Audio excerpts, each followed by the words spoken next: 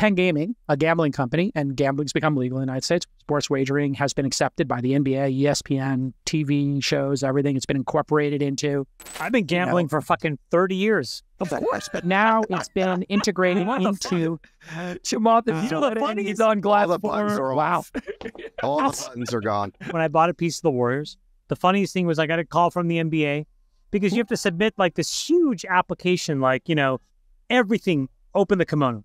And they knew that I was a big fucking sports bettor. And they were like, hey, dipshit, we'll allow you to sports bet in Vegas if you show the tickets. But otherwise, you know, they knew who my bookie was. They were like, you cannot call this guy anymore. You can't sports. It was crazy. What did Crazy. I call? call?